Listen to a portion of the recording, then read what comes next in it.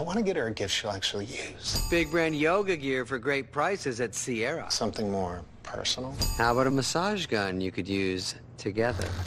I'm his sister. It's my sister. Did you think they were? Yeah, I did. Let's get moving.